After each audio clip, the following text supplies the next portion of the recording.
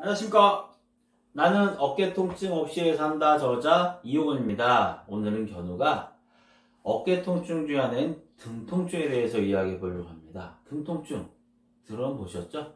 혹자에게서는 본인의 문제일 수도 있고 혹자인 주변에 등 통증에 의해서 상당한 고통을 받는 것을 본 적도 있을 겁니다. 그럼 등 통증 왜 생기는 걸까요? 다양한 원인이 많이 있습니다. 그러나 정외과적 측면 살펴볼 수 있는 원인 크게 두 가지로 압축해 볼 수 있습니다. 그 첫 번째는 목 디스크, 두 번째는 바로 근막 통증 증후군입니다. 목 디스크는 다른 말로는 경추 디스크, 경추 추간판 탈출증, 경추 수핵 탈출증 등 다양한 이름으로 불리고 있습니다. 이 목뼈를 살펴보면요.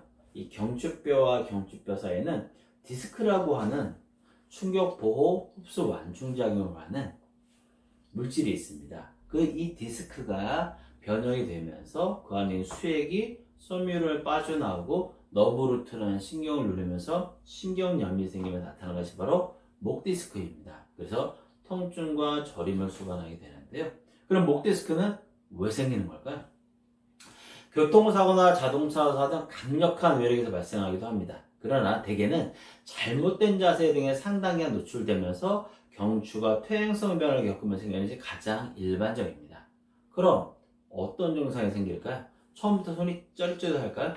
그렇지 않습니다. 대개는 처음에는 목과 목덜미의 정확한 위치를 알 수 없는 통증을 경험하다가 삼각근을 겹치면서 손재로 나타나게 됩니다. 그리고 일부에서는 뭐 날개쭉지나 날개뼈 이런 등주이겠죠. 그 다음에 겨드랑이 쪽에 통증을 경험하기도 합니다.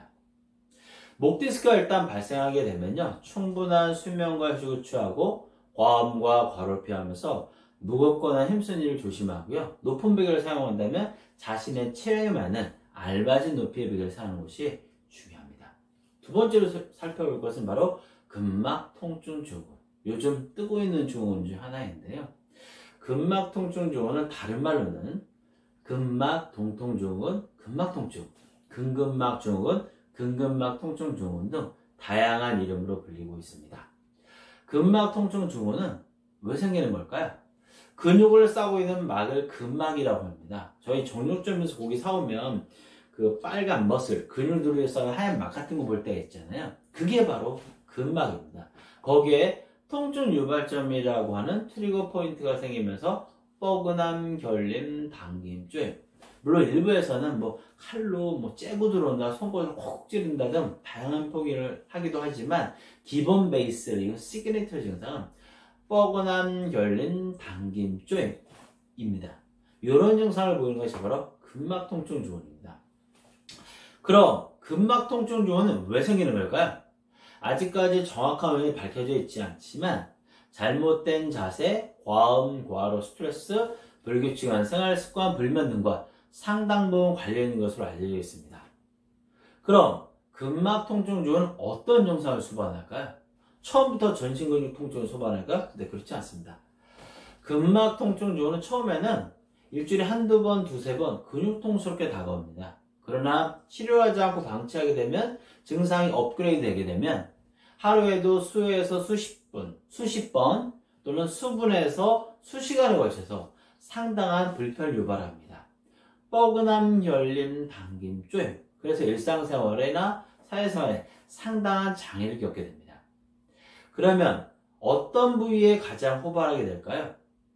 목과 목덜미에 가장 호발하게 되고요. 시간이 지나면서 뭐 등줄기엔 날개추나 날개뼈 등, 뭐 허리, 엉덩이, 흉쇄혈관, 가슴, 겨드랑이, 배, 서해부 등 다양한 부위로 발전하는 모습을 보일 수 있습니다. 물론 동시다발적으로 생길 수도 있고요. 꼭 이곳에만 생기는 것이 아니라 근육이 있는 곳이라면 어디에나 생길 수 있는 것이 바로 근막 통증 주원입니다. 그래서 일부에서는 뭐 눈주위, 뭐 귀주위, 턱주위로도 발생하는 모습을 볼 수 있습니다. 근막 통증 주원이 일단 발생이 되면요. 충분한 수면과 휴식을 취하고 과음과 과로를 피하면서 무겁거나 힘쓴 일을 조심하고 고정된 자세로 일을 하는 분이라면 중간중간에 자세를 바꿔주는 것이 무엇보다 중요합니다. 목 통증이나 어깨 통증이나 팔 통증은 예방이 중요합니다. 등 통증도 예외될 수 없습니다. 그럼 일단 발생했다면 초기에 적극적인 치료를 통해서 2차적인 문제의 발생을 예방하는 것이 무엇보다 중요합니다.